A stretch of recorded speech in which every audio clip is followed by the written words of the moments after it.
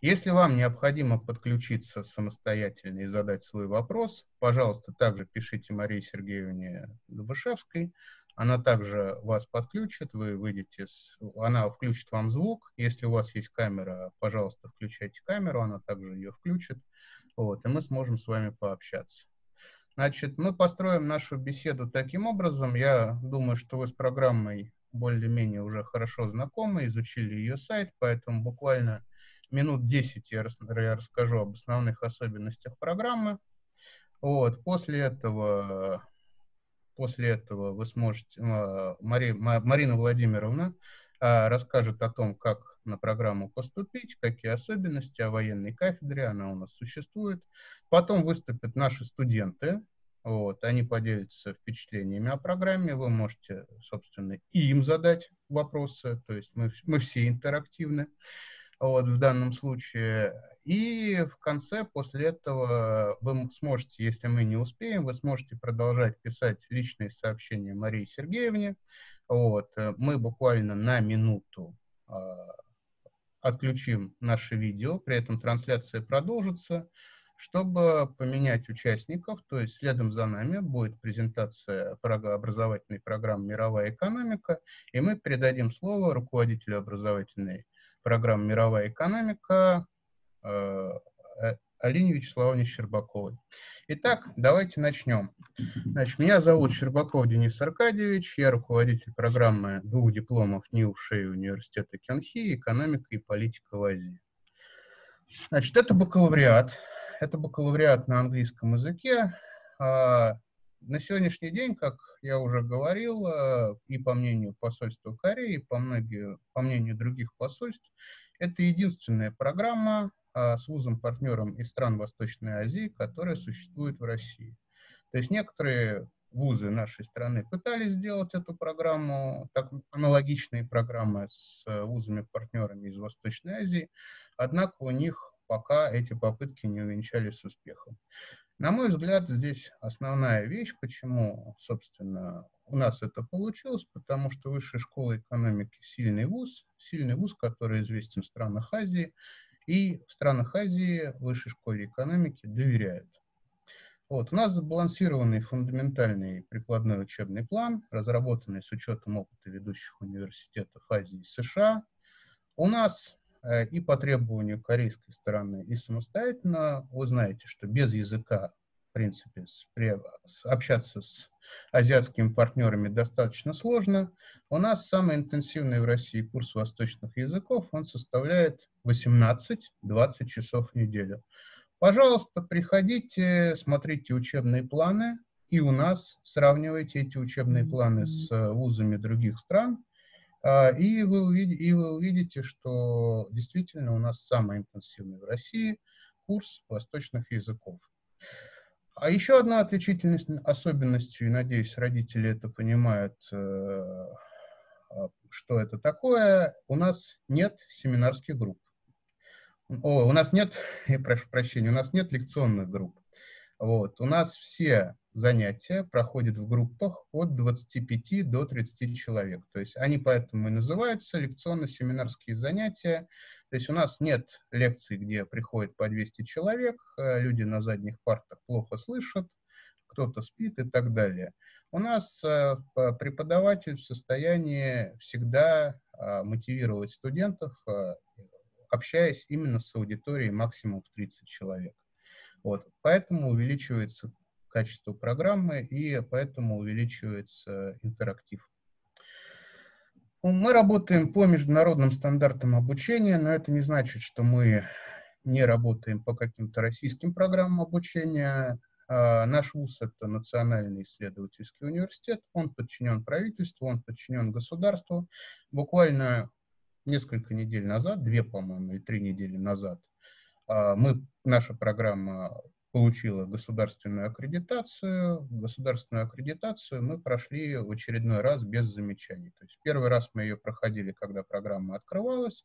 Сейчас мы ее проходили, вот подтверждали, что программа хорошая. Вот. У нас все дисциплины, кроме э, обучения восточным языкам, преподаются на английском языке. Вот. А, в результате студент получает два диплома ведущих университетов России и Азии, а также еще одной а, отличительной особенностью нашей программы является то, что помимо основного диплома выдается приложение к диплому университета Кёнхи о дополнительной специализации.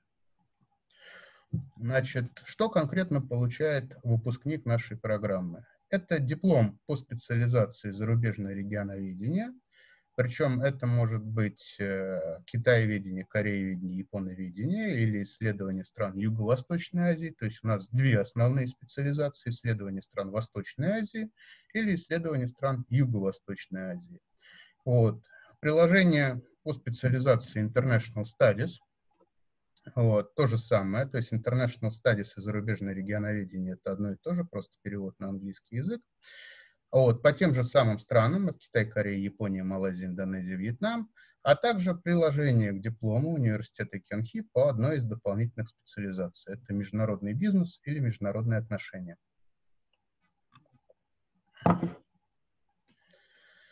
А еще, одним, а еще одной важной специфической особенностью нашей программы является то, что все студенты в течение третьего года обучения проходят э, стажировки, это обязательные стажировки, э, в Китае, Японии, Малайзии, Индонезии и Вьетнаме. А первый семестр третьего года обучения – это языковая стажировка в стране специализации, а второй семестр – это продолжение теоретической подготовки – в университете Кёнхи на факультете зарубежного регионоведения, который является основным партнером нашей программы. Собственно, немножко о партнерах. Э, как вы видите, партнеры программы, они под стать университета Кёнхи. Университет Кёнхи является одним из ведущих университетов в странах Азии. Ну, в Китае университет Фудань, он вообще является одним из мировых лидеров, так же, как и ВАСАДа в Японии. То есть э, эти университеты также не являются, не, не нуждаются в особом представлении. В Малайзии, Индонезии Вьетнаме Кенхи а, подобрал нам партнеров. Это национальные университеты, это Национальный университет Малайзии, Национальный университет Индонезии и Вьетнамский национальный университет в Ханое. То есть это национальные университеты, которые, в принципе, являются ну, аналогом МГУ или Высшей школы экономики, которая также является национальным университетом. Что вам необходимо знать для правильного выбора образовательной программы? Но это на наш взгляд. Может быть, вы как-то мыслите по-другому, но, на мой взгляд, нужно вам знать примерно следующее, чтобы правильно сделать выбор. А узнать, кто учится, как учится, кто и как учит, кто оценивает знания, чему учат и зачем это нужно, в принципе. Да? Что, что с этим потом, с этим образованием можно делать. Значит, как учится на нашей программе? Учебная неделя составляет 6 дней, это понедельник, суббота. Как я уже говорил, у нас нет, э, у нас все занятия, это лекционно-семинарские занятия по 25-30 человек. Значит, языковые занятия у нас по 8-10 человек. Но на самом деле сейчас в группах, вон, студенты не дадут соврать, я думаю, что у нас даже 7-8. Многие, многие как бы, группы у нас по 7-8 человек. Значит, у нас примерно 8, 8 часов академической аудиторной нагрузки, то есть 8 академических часов, ну это примерно 7 часов студенты проводят а, в университете. Ну, сейчас это онлайн обучение, это вынужденная мера, да, но в целом всегда студенты проводили где-то с 9 до 3, до 4 часов в университете, включая перемены, включая, я не знаю, там, перерывы там, на обед и так далее. То есть в целом это 7 часов. Но часто студенты задерживаются, потому что на программе, помимо всего, есть факультативы. Это, например, факультатив по английскому языку. Его выбирает на первом курсе 70-80% студентов вот, чтобы продолжить обучение по английскому языку. У нас есть так называемые TE sessions, Teaching Assistant Sessions, для студентов, которые чувствуют слабину в какой-то из дисциплин, например, в таких дисциплинах, как экономика или математика. То есть их поддерживают студенты старших курсов, не обязательно даже наш, нашей программы, это могут быть и студенты МИЭФ и других программ. Вот. Это у нас постоянно проходят визиты в посольство, почетные лекции, мастер-классы. Они обычно проходят с 6 до 7 вечера, с 6 даже иногда до 8 вечера. У нас работает студенческий научный клуб, летние школы. И у нас с второго курса организуется практика в компаниях. Вот я думаю, студенты более детально о практике, они уже сейчас, кто-то из них ее посещает, я думаю, что они могут детально об этом рассказать. У нас огромное количество совместных внеучебных занятий, начиная от дня рождения вышки, заканчивая, там, я не знаю, студенческим новым, э, восто, ну, студенческим восточным Новым годом, вот, который ежегодно празднуется на нашей программе. В каникулы студенты также не сидят спокойно, они постоянно, и мы им это организуем, они ездят на летние школы. Вот первые студенты, например, Максим, вот который на фотографии, который сегодня с нами, да, вот он съездил в Китай, он может поделиться этими впечатлениями. Вот также есть студенты, которые съездили и в Корею, и в Японию. Вот, есть все эти студенты, большинство, по крайней мере, студентов, которые э, на этих фотографиях, это наши студенты.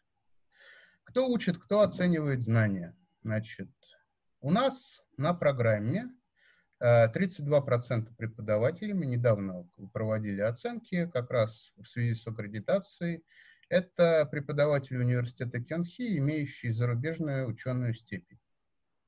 Вот. Еще 48% это штатные преподаватели НИУ имеющие степень либо зарубежную, либо нашу российскую степень кандидата или доктора наук.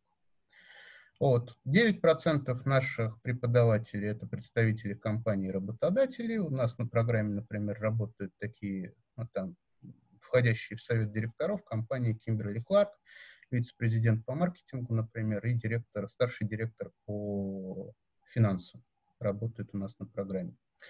Вот. И ведущие преподаватели, которые не имеют научной степени или ученой степени, но это в основном высококлассные преподаватели восточных языков, я думаю, что вы все прекрасно понимаете, что э, те преподаватели, которые э, учат восточному языку, не должны иметь, не обязательно должны иметь ученую степень.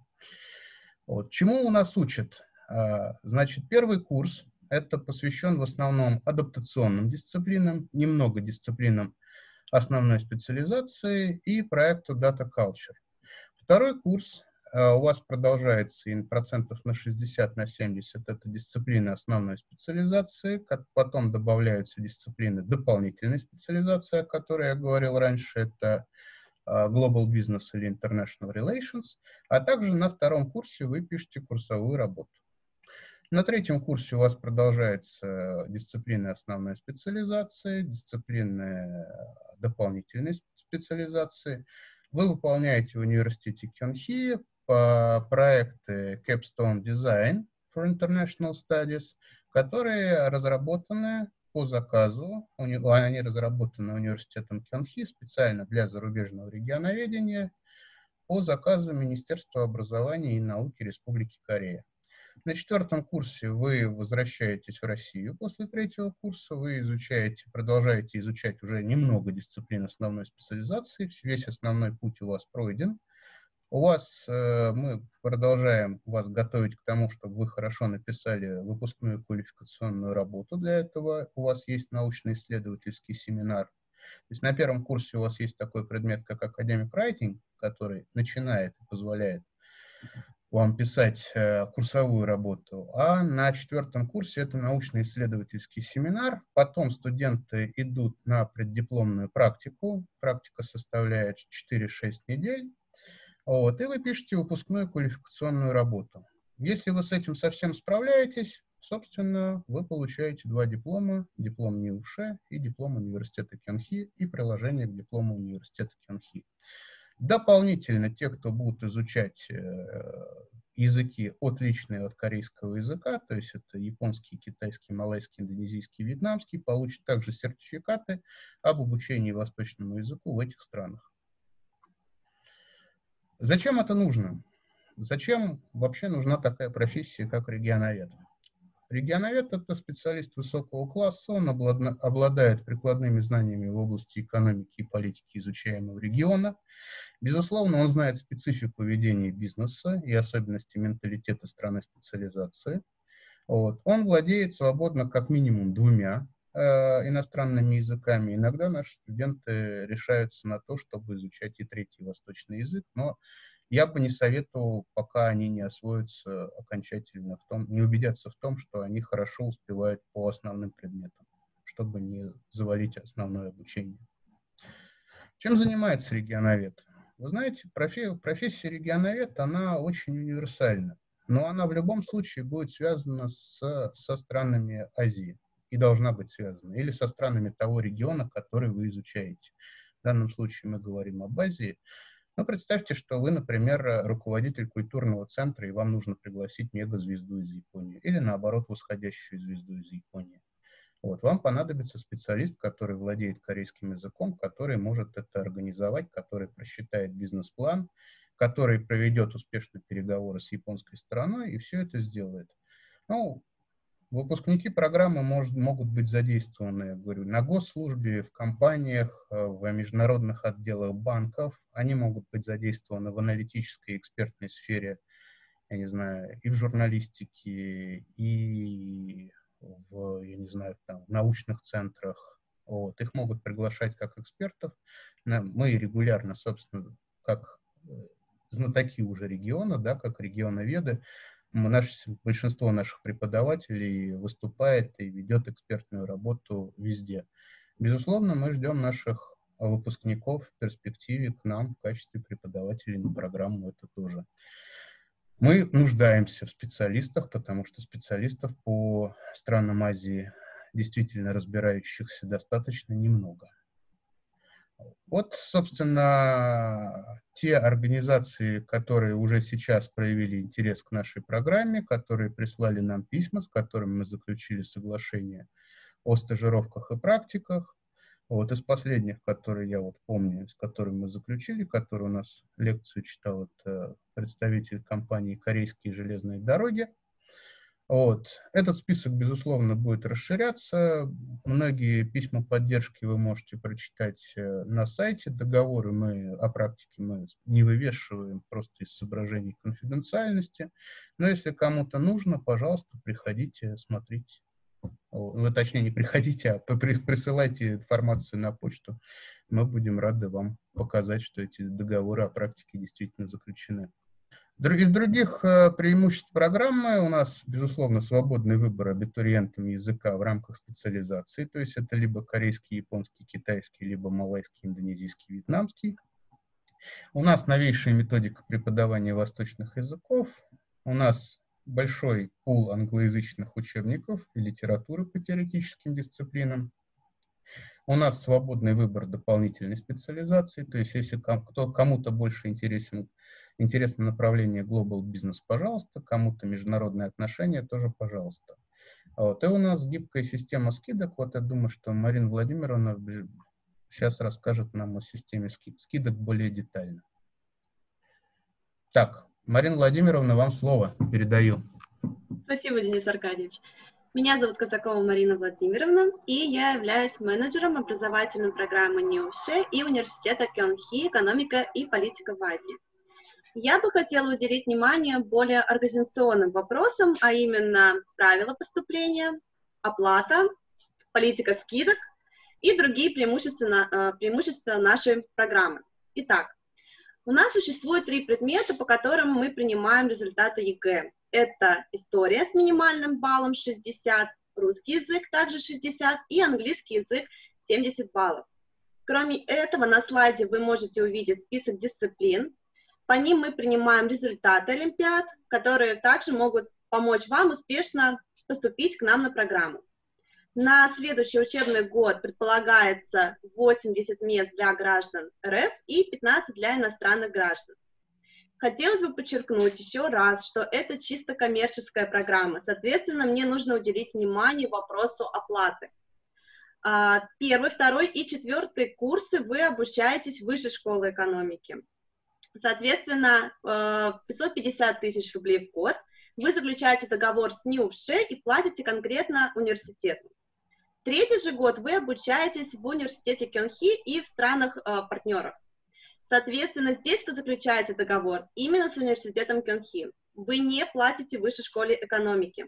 Это специфика и особенность нашей программы, потому что многие программы двух дипломов предполагают оплату как основному вузу, так и вузу партнеров. В эту стоимость, да, кстати, третий год обучения у нас стоит 11 800 долларов. А, вся эта стоимость будет включать не только обучение дисциплинам, не только получение знаний, это и языковая, и теоретические стажировки, и полный комплекс учебников, различных методических пособий, то есть все необходимое для успешного освоения знаний и получения, получения этих знаний.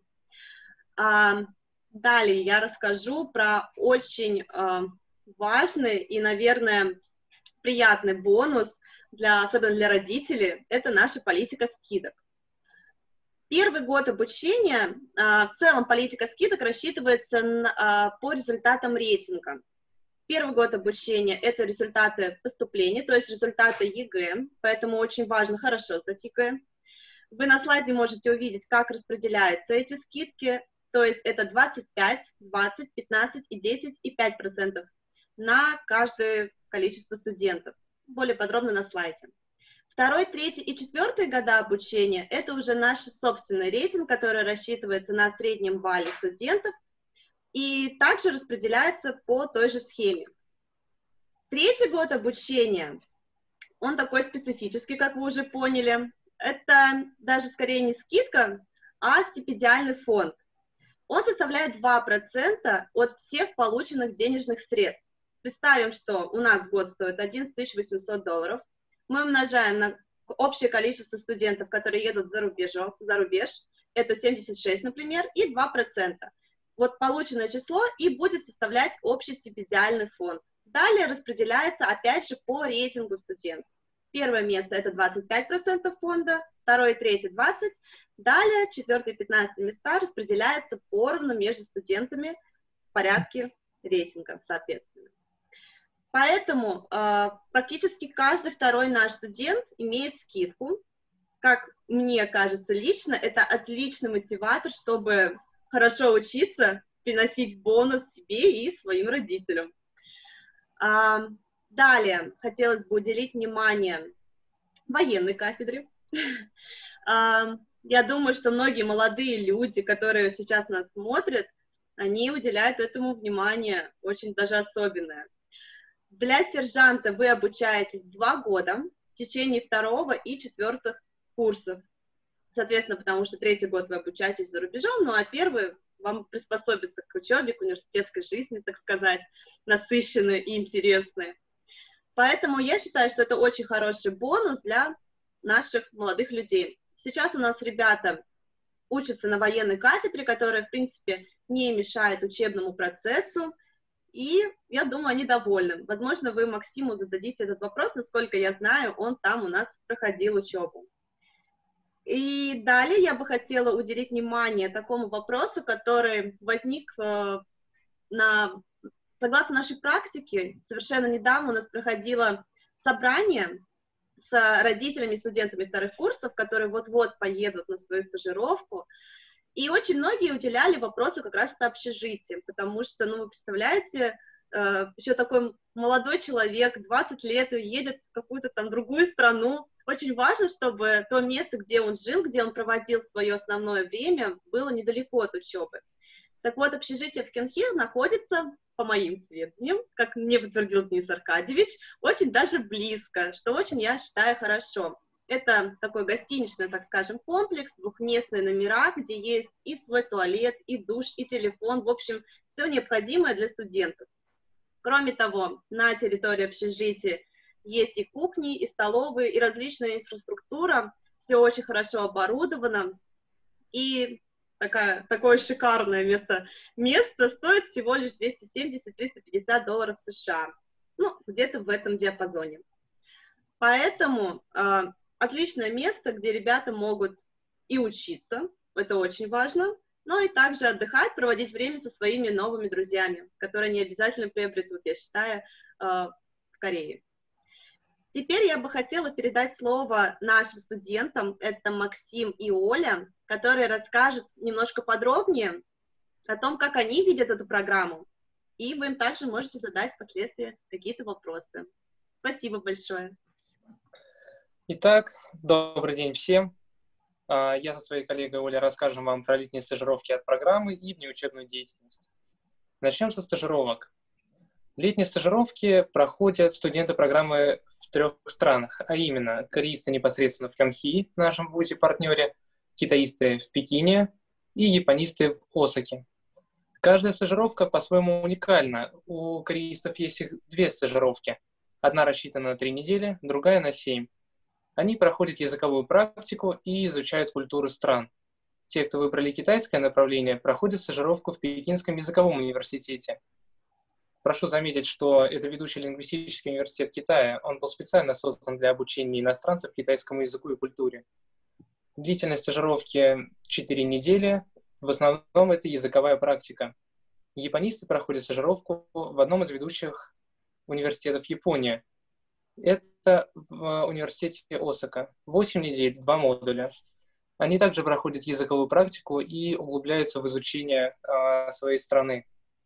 Э, я считаю, что все эти стажировки – это потрясающая возможность для студентов нашей программы познакомиться со странами Азии заранее, э, перед своим третьим курсом, а также приобрести знания языка и культуры изучаемых стран. Дальше я хочу передать слово своей коллеге Оле, которая расскажет про внеучебную деятельность. Спасибо. Да, спасибо, Максим. А, на самом деле Марина Владимировна очень точно сейчас подметила, назвав нашу учебу насыщенной и очень интересной. А, и я бы хотела рассказать чуть подробнее о внеучебной деятельности на нашей программе, поскольку это один из часто задаваемых вопросов не только от родителей, но и от студентов. И э, на самом деле стоит сказать, что у нас очень много мероприятий и на самой программе есть. Например, мы проводим Восточный Новый год каждый год уже традиционно. Мы отмечаем Чусок, это корейский праздник урожая. А также у нас в конце года обычно есть традиционный пикник, который помогает студентам программы объединиться еще сильнее и почувствовать, что мы действительно огромная и сплоченная команда. А, кроме этого, у нас проходит очень много мероприятий на факультете, Поэтому неудивительно, что к концу года студенты не только нашей программы знают друг друга, но и студенты факультета вообще, в принципе, имеют огромную возможность познакомиться друг с другом. Да, для, ну, поскольку мы говорили о военной кафедре, тут стоит упомянуть, что а, поскольку студенты, которые не участвуют в военной кафедре, они, а, ну, у них получается своеобразный выходной, это в нашем случае четверг, но зависит.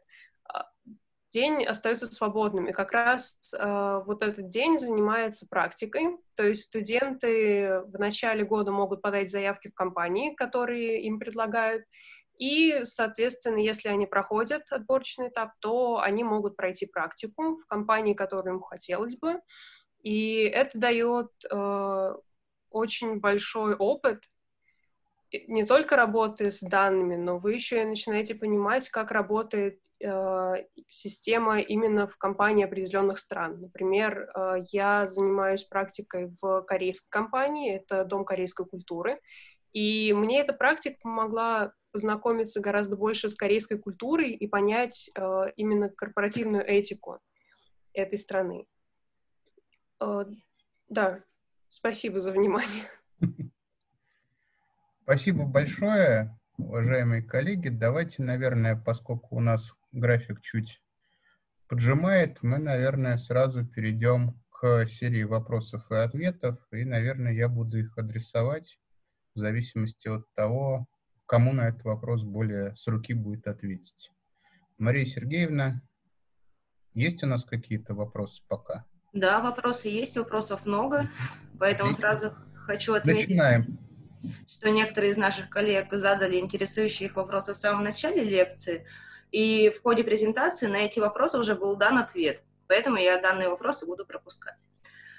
Да, тут стоит сказать, что вся презентация будет э, записана, и, в принципе, всю презентацию вы сможете посмотреть в записи, мы ее выложим на YouTube-канал или куда-то на другой источник в ближайшее время и разместим эту информацию на нашем сайте программы. Это для тех, кто опоздал и что-то не увидел. Угу, Мария Сергеевна. Угу. Первый вопрос поступил от Велены. Велена пишет.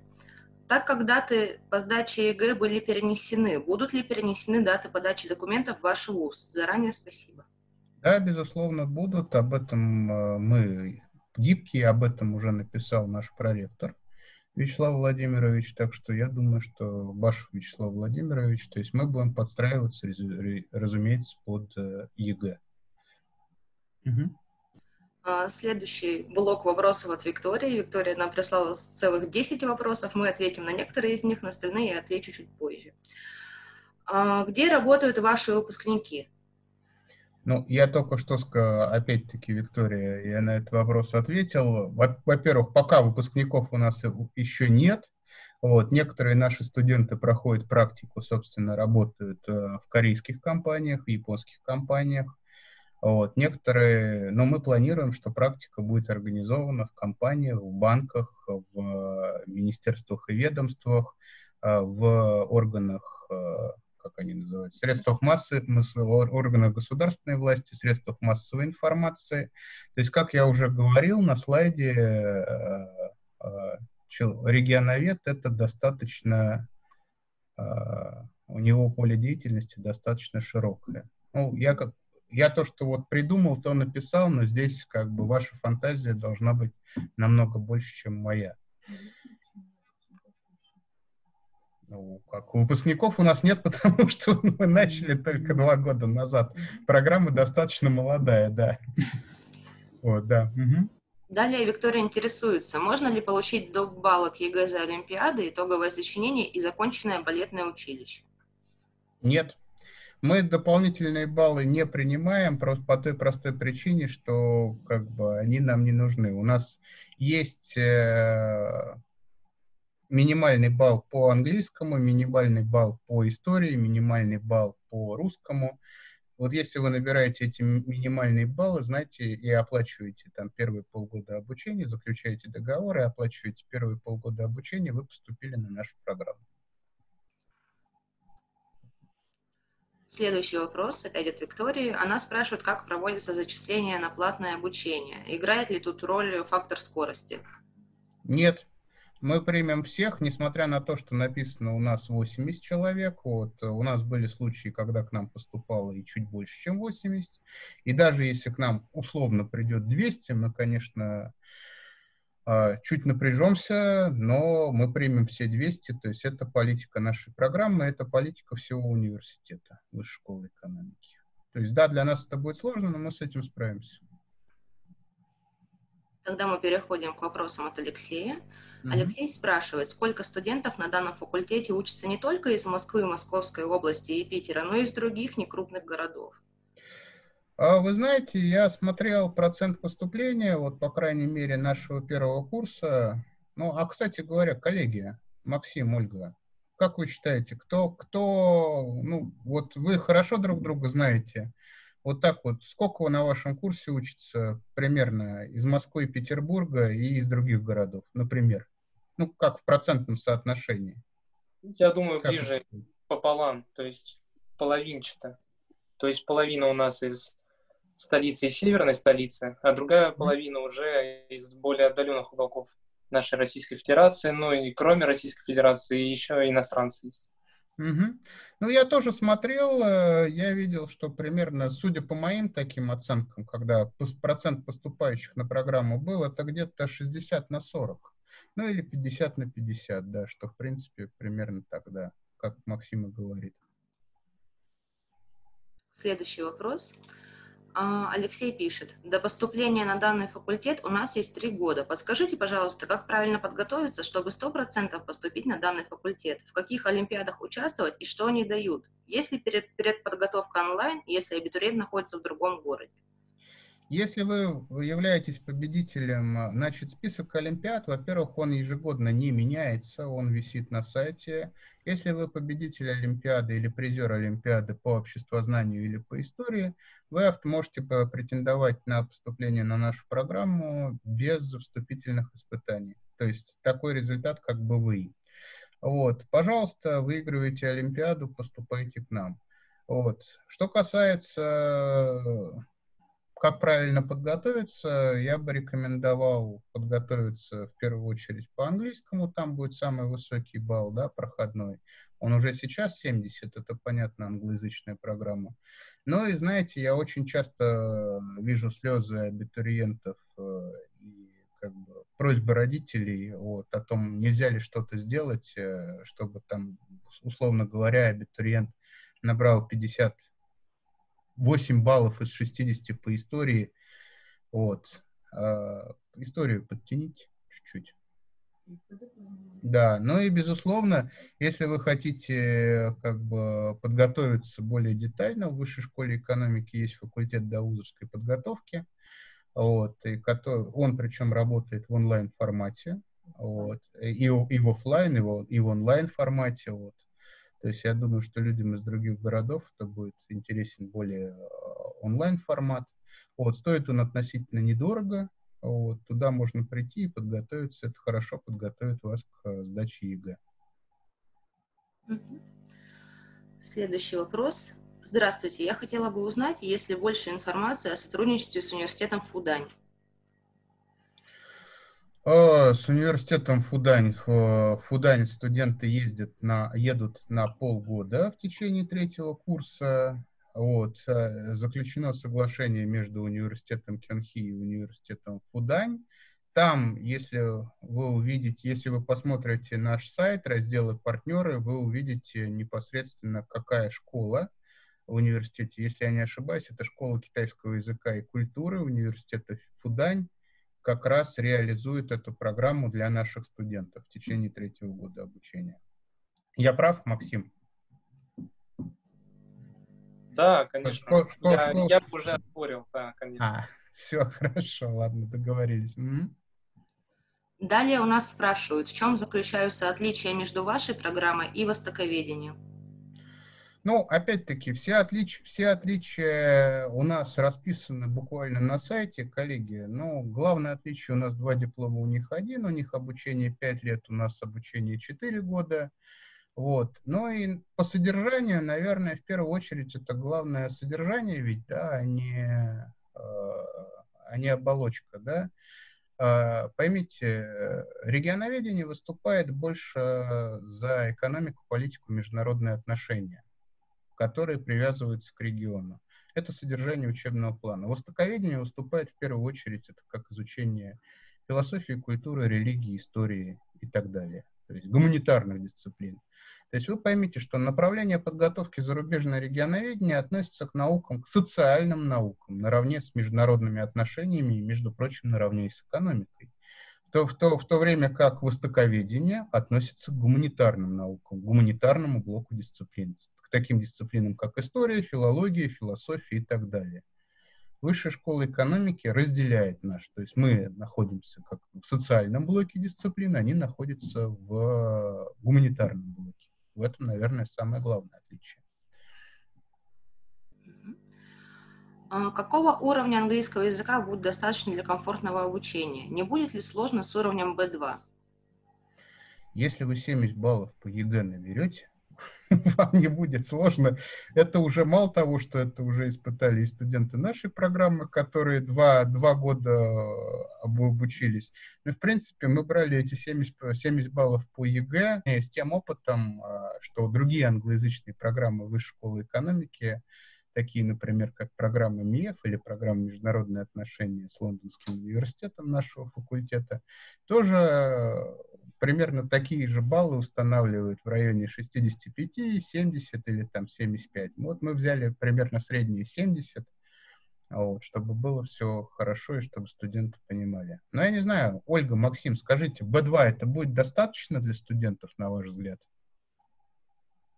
На самом деле у нас э, при поступлении на первом курсе большая часть говорит на уровне B2 или ниже. Э, у меня лично уровень C1, поэтому насчет того, насколько легко, не могу сказать. Но э, на самом деле у нас за счет того, что студенты все друг дружку подтягивают и всегда готовы помочь, и учитывая то, что все пары проходят на английском языке, ну, кроме языков, понятное дело, э, студенты под конец подтягиваются, и у всех примерно одинаковый уровень устанавливается. То есть уровень B2 — это я бы сказала, прям идеальный уровень, с которым можно идти к нам на программу. Да. Э, переходим к следующему вопросу. Вопрос от Ангелины. Каковы последние сроки подачи документов? Можно ли подать документы по электронной почте? А, а вы, вы знаете, этот вопрос на самом деле лучше будет задать. Я понимаю, почему связан, с чем связан такой вопрос. А, вы знаете, давайте этот вопрос лучше адресовать приемной комиссии, потому что я думаю, что будут перенесены и сроки приема документов, и формат приема документов тоже будет перенесен. А, возможно, или как-то облегчен, поэтому давайте подождем, и в ближайшее время, я думаю, следите за информацией на сайте нашей программы и на сайте Высшей школы экономики в целом. Вот, я думаю, что как-то будет в ближайшее время доступна информация об этом. Угу. Честно говоря, у нас еще очень много вопросов, а время у нас поджимает. Поэтому я предлагаю нашим дорогим абитуриентам немножко подождать, и мы в ходе следующей презентации, следующей будет презентация мировой экономики, мы ответим на ваши вопросы именно в личку. То есть вы увидите угу. ответы в чате. Да, отли отличная мысль, давайте так и сделаем. Если вдруг мы на какие-то вопросы не ответим, пожалуйста, пишите. Все наши контакты есть на сайте Высшей школы экономики, на сайте нашей программы. Пишите, пожалуйста, Марине Владимировне, пишите Марии Сергеевне Дубышевской, Марине Владимировне Казаковой. Находите, в конце концов, наших студентов. У нас, мы все представлены во всех наших всевозможных, я не знаю, сообществах, ВКонтакте, Фейсбуке, Инстаграме, где нас только нет. Вот, наши студенты нам тоже помогают, отвечают. Вы можете найти, я думаю, что ответы на большинство вопросов, а также они более искренне, наверное, ответят вам на какие-то другие вопросы, которые вас могут заинтересовать как будущих э, студентов нашей программы. Вот. А сейчас большое спасибо. Пожалуйста, не отключайтесь. Мы сейчас временно видео остановим. Это не значит, что мы отключим трансляцию, мы просто видео остановим, чтобы передать а, руководителю другой а, программы слово.